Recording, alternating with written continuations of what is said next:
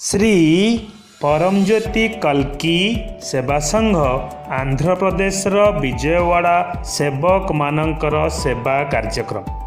ବିଜୟୱାଡ଼ାର ସେବକମାନେ ଅନାଥ ପିଲାମାନଙ୍କ ପାଇଁ ଏକ ପାଠାଗାରର ବ୍ୟବସ୍ଥା କରିବା ସହିତ ଏହାର ଉଦ୍ଘାଟନ ମଧ୍ୟ କରାଇଥିଲେ ଯାହା ବିଜୟୱାଡ଼ାର ନବଜୀବନ ବାଲଭବନର ଅନାଥ ପିଲାମାନଙ୍କ ପାଇଁ ଉଦ୍ଦିଷ୍ଟ ଅଟେ।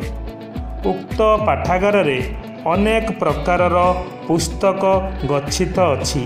ଯଥା ସାଧାରଣ ଜ୍ଞାନ ଗଳ୍ପ ଚିତ୍ରକଳା ଇତିହାସ ଓ ବିଭିନ୍ନ ପ୍ରକାରର କୋଶ୍ଚିନ୍ ବ୍ୟାଙ୍କ।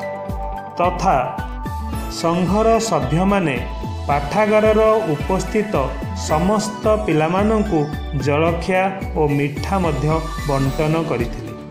ସେବକମାନଙ୍କର ଏତାଦୃଶ ଆଗ୍ରହ ଆନ୍ତରିକତା ଯତ୍ନ ଓ ସ୍ନେହ ପାଇଁ ବାଲଭବନର ପିଲାମାନେ ଉତ୍ଫୁଲ୍ଲିତ ହୋଇ ହୃଦୟରୁ ଧନ୍ୟବାଦ ବ୍ୟକ୍ତ କରିଥିଲେ।